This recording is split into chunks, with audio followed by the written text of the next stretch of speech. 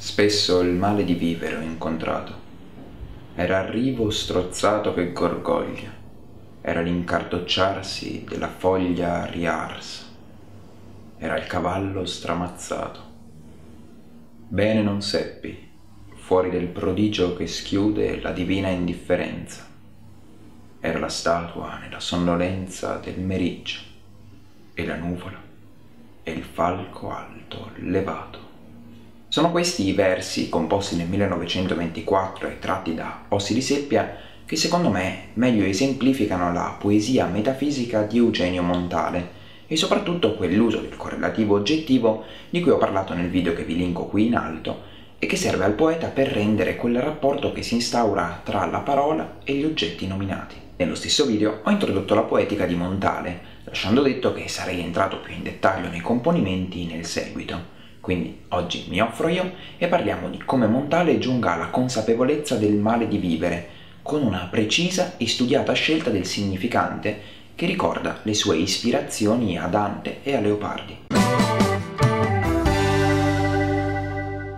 La scelta di adottare soluzioni stilistiche decise ed in particolare un lessico asciutto e di registro plurilinguista, e da qui l'ispirazione a Dante, deriva dalla necessità sentita dal poeta di aggrapparsi a qualcosa, alla forma, in particolare alla ripresa straniata della tradizione, per dare un senso alla vita di fronte alla sofferenza che permea la realtà. Allo stesso tempo, tuttavia, è proprio questa sofferenza che diventa per Montale la possibilità per l'uomo di andare più a fondo, di scoprire qualcosa in più su se stesso, allo stesso modo in cui quella malattia di Leopardi gli permetteva di cogliere gli aspetti più veri, anche se brutti, della realtà circostante. Il male di vivere non è presentato in senso metaforico o analogico, come avrebbe fatto ad esempio un poeta del decadentismo, bensì viene presentato come una esperienza concreta, con quel verbo ho incontrato che sottolinea come Montale abbia riconosciuto il male di vivere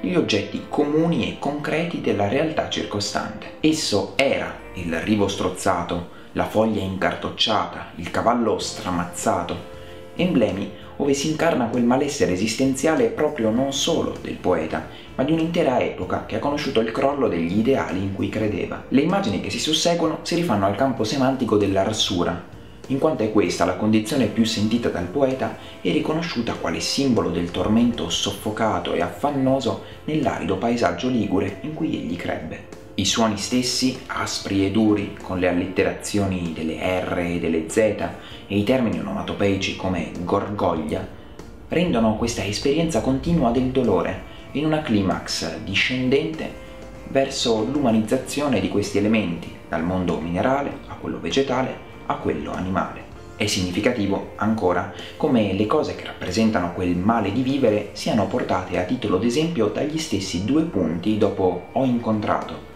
Ritroviamo quell'importanza della punteggiatura che già Pascoli aveva sottolineato. In opposizione al male di vivere non vi può essere, secondo il poeta, altro bene che il distacco e l'indifferenza. La divina indifferenza è quella propria della divinità, lontana e insensibile al disagio esistenziale, che fa schiudere il prodigio, il mistero che si cela dietro a ciò che noi chiamiamo Dio. L'alternativa al male è dunque lo stoico distacco da una visione della realtà pervasa dal dolore, non la fratellanza tra tutti gli uomini come auspicava Leopardi né la Ginestra, a cui dedicherò un video in futuro, bensì l'allontanamento e la chiusura. L'indifferenza è ancora esemplificata da tre correlativi oggettivi, la statua, la nuvola e il falco alto levato, in una climax questa volta ascendente al cielo che sembrerebbe quasi suggerire come sia il distacco intellettuale una possibile fonte di speranza. E forse può proprio essere questa l'interpretazione dell'immagine del falco, quasi a ricalcare l'immagine del poeta che dall'alto del suo stoico distacco osserva la realtà e ne coglie la vera essenza, quella sofferenza che la pervade e che è caratteristica di un'epoca in cui sembra che ancora oggi siamo immersi, quando ci fermiamo ad osservare quante e quali ingiustizie vengano perpetrate a danno dell'umanità in molteplici aree del pianeta. Quindi questo era tutto quanto avevo da dirvi in questo terzo video dedicato a Montale, grazie per aver guardato. Io vi chiedo di farmi sapere nei commenti se il video vi è piaciuto, condividete con i vostri amici, seguitemi su Facebook e su Twitter e ci vediamo al prossimo video.